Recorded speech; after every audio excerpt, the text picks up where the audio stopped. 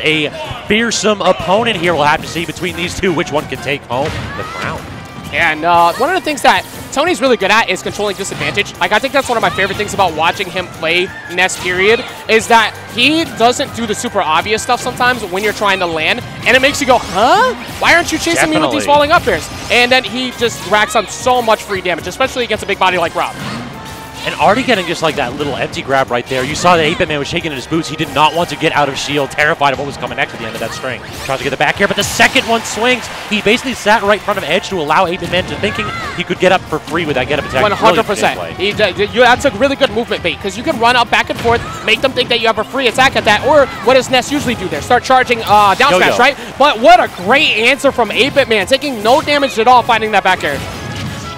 And then the top interrupting that little string attempt from Tony. Great trap right there from 8-Bit Man. Manages to catch the jump, but that air dodge by Ness is so good. Takes him off with the back throw again and cannot get back with these aggressive aerials. Has to recover low. We're going to get the spike. No, a little bit too early. That was a good delay on Tony, but that's only going to matter. So that's only going to happen so many times. You get that first stall, and then you have to mix up your timing after that because that down air will cover you, but it's on 8-Bit Man to make sure he finds the right timing. That was a great conversion by 8-Bit Man, though. He did not have a jump. So somehow found a safe landing, though.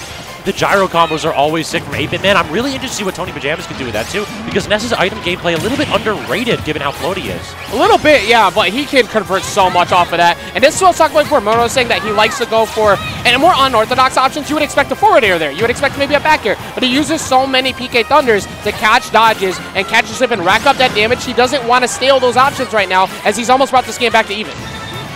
Rob forced to recover lower. Again. He's not going for the down smash. Instead, it looked like he was trying to go for a down air, but there, waiting for the standard get up, getting the spot dodge right away. 8 Man choosing two defensive You know what was so good about that, Scabs? What did he do on that first stock? He conditioned him to think he could get away with a free get-up attack, right? Yep. He punished him for that. While standing directly on ledge in get-up attack range, 8-Bit Man neutral got up because he was afraid of the idea he might get punished for it again and got a free down smash. Yep, the first interaction sets up the second, and it ends up with the Pajamas having a solid lead right here. See how long he can keep that stock. Not going to get clipped with that down or Jimmy back air. Kind of hard. Parry, but can't get the punish with that back air either. It, like, it's so difficult to keep like this damage lead when you're playing up against Ness. Oh, yeah. uh, Scabs, what is it that like you think that 8-Bit Man, what, what he did in that first stock, that he needs to do to replicate, because he's not that far off from uh, finding a knockout here, but what is he going to need to do to get that damage back to even quickly? It feels like he's doing a lot of air-to-airs, and against Ness with those disjointed hitboxes, it's so difficult. He does get the up throw, but right now, he's got the top in his hands, and this is when Rob is at his most dangerous. Got to go ahead and get one of those Z-drop combos for big damage right here, and he's already aiming for it.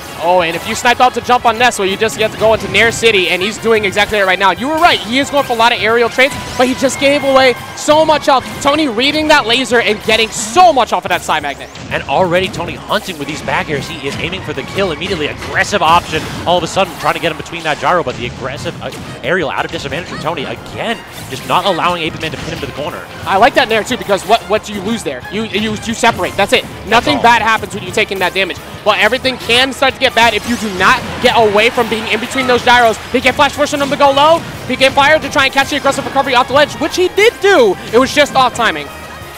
So now this is a regrab right here. Pajamas has the opportunity to make something happen, but great full hop away by 8-Bit Man. Just does not want to get pinned in one place. Feels like he needs to use the mobility, but the dash attack barely clipping a max range from Tony Pajamas. What a great job spacing that out. Exactly. Perfectly spaced. Caught him at the very edge of that 8-Bit Man. Definitely trying to like shake out their nerves right now. It, that, was a, that was a close game. Like, that was one that was absolutely winnable for 8-Bit Man. He did not, like, it, it, it, wasn't something that was like he took a lot of damage, right? He True. was behind, but he kept himself in it the whole time. I think the biggest thing is that where he expected Tony to try and go for like aerial trades off of fairs, he was getting hit in different ways, which made him think, oh, I have to beat those uh, those uh, PK Thunders by fairing now myself. And then he was getting hit by it by going underneath him with his own up air. Ness was navigating around it, and I think that's what was so good about Tony PJ's advantage over 8-Bit. He has to be a little bit more careful while trying to find those landings. Even though you want that Nair, it's not always the right option. And I think that the, the gyro could really come into play here, too. That projectile is something that Ness has a little bit of trouble interacting with. You have to either toss out a long-lasting aerial to try to clank with it, or you have to get the Z-catch, and if you are not on point with that Z-catch and an air dodge comes out, well, that's a free punish for 8 Man. Yeah, how many times did we see? Actually, he got so much damage while Tony was in the air throwing the gyro up at him because Tony wasn't ready. He can mix up quite a lot with that. But now we're here with uh, Small Battlefield. It's a little bit less room he's got to work to like regain Nooch because I think that Tony was uh, like doing a really good job of resetting to center stage. Now it's not as easy because you have slightly less room to work with, and 8 Man is showcasing that right now.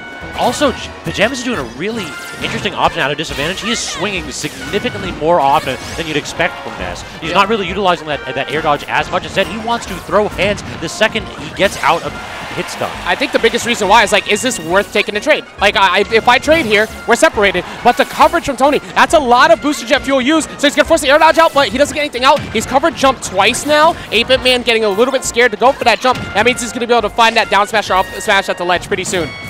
Back air not going to connect, immediately running forward with the dash attack, and then also threatening with the back air of his own. Pajamas gets buried. Is he going to get the up air? He does, but the DI not quite enough to save him from that one. I wonder if even with that good DI, like that was high percent, right? With I that think rage- was pretty solid. Yeah, Yeah, it, it was it was solid, but he went like so up. And uh, Yes. Tony has him at least at back throw percents, but that's what 8 Man knows he wants. Anyway, just box him out with that detail. Not gonna let you grab me.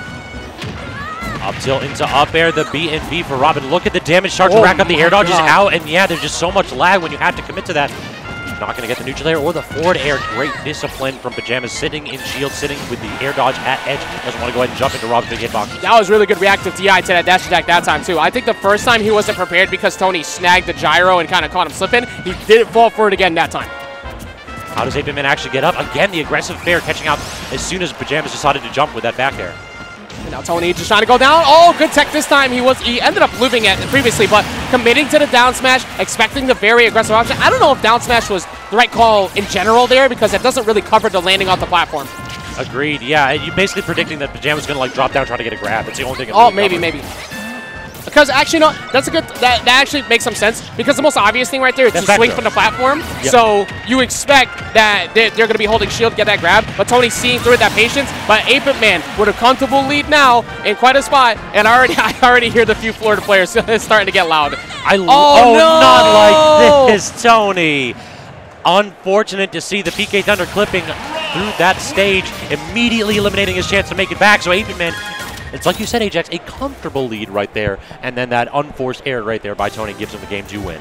Exactly, and like for for Tony, um, you just got to make sure you put that in your back pocket. Like, don't let that bother you because if you let that get to you, that same lead that 8 Man had in that game two is going to replicate. And we have known throughout the years. 8 Man is a passionate individual. Oh, yeah. He, uh, he. I mean, he doesn't go for the like ultimate super rage up stuff he did anymore to try and intimidate you, but he wears his heart on his sleeves. You can see it. And, like the entire body language shows you how into it he is. And when he is riding with a lot of confidence, his advantage goes through the roof. And this is a really good counter pick here for Ness because you have the minimal amount of time it's going to take to get that ledge shot, which is what he was winning on mostly before. But also on this stage, really the problem is that if 8 Man gets up a full head of steam, and it's actually could turn out to be devastating for Tony because 8 very Man true. can go ahead and abuse it just as well. Tossing the gyro off stage, but then did not turn around for the back air. Small tech flip for 8 Man, and Tony trying to take it to the house, but not going to work out. Yeah, I think in general a lot of their stages are like very similar to what they both want. Uh, I think the only few that don't. Oh, that. The Good gyro job slowed down the thunder. Thank goodness 8-Bit Man knows better because if you ran up on that, that hitbox extension from Yep. that PK rocket still would have hit you. Exactly. Down tilt to force him low, but that Ness air dodge is just such a useful tool at a disadvantage. Very lucky that he did not get timed on that back air neutral get up. Like that was 100% a read on 8-Bit Man. He had the correct read. Down throw into up air will maybe do it now. No, Good DI. no, no. Phenomenal DI from that time from Pajamas. Now how does he actually get down? Has to expend the neutral air dodge into the up B. Not going to get the spike. 8 Man 0 for 2 with that so far, but the aggressive jump off of edge. Gyro is down. What trick are we going to get? Into the down smash? No, he goes a little bit farther. The floatiness of Ness. He went so quick and the damage was so high that 8-Bit Man wasn't quick enough to the trigger. That's usually a guaranteed setup. But Gyro did not use his jump. However, he was trying to save his jump. He had Gyro in hand, and he caught him slipping by going for the laser instead. By answering right back as Tony. Did he just combo weak hit back air into strong hit back air? Like, that looked true on a big body like Don't Rob. question it, man. Like, they find their ways. They- Yeah, like- everything's a combo if you believe, Ajax. True. Hey, your buttons are always plus if you believe hard enough. Frame data's a lie. Facts. Actually, we don't need frame We data. play with feeling. Let's go, punk. All right. Exactly.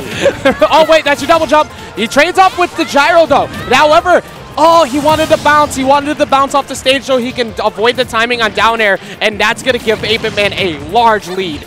One thing that I want to like, I want to say a lot of Rob needs to start doing this. 8 Man is so good when his opponent's on the Angel platform. He does the gyro toss, tosses it up, then puts himself at edge. So he has like a falling wall that's eventually going to interrupt what his opponent's going to try to do while they're getting out of, of uh, invuln space. That's, an so underrated smart. skill. Like, Yeah. if you know how to avoid people rushing you down freely off of Angel platform invincibility, that's usually a way that people just kind of get themselves back in the game. But instead, you take away what could be a free, like, neutral win for them and just take the time away. And now, Tony just begging to get one of those neutral wins right now. He cannot find his way back on the stage. Oh, I love the weight right there from 8-Bit. Not quite paying out. Good PK fire from Tony instead. And that gyro is, again, it just feels like whenever he's able to use that to pin Tony to edge, just it's so hard for Ness to get back to center stage. That platform is just so good for Rob to Shark under. And now pretty much you have to go for it straight up time. He got it away, but instant reactive DI. Man launched out that seat, stood up, feeling way better about that one. Tony had a really solid first game. I think the thing is that 8 Man wasn't really respecting a lot of the landing options. Like he was getting caught by a lot of PK Thunders on